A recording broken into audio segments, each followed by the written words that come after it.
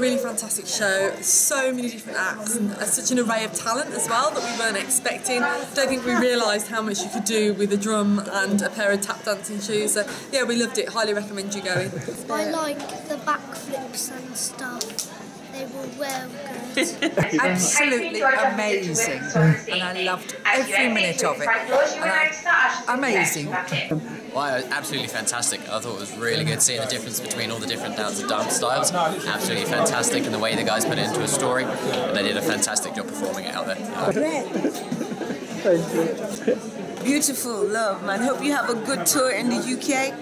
Yeah, Sakoufe, love to you. Je parle français un petit peu. That was incredible, man. Like that was raw talent. That all the guys like gave their props to it, man. Especially trying to get the guy who was playing the flute. I never heard a man sing and play flute at the same time and make it um shiver and thing like that. But it was incredible, man. So just props out to you guys, man.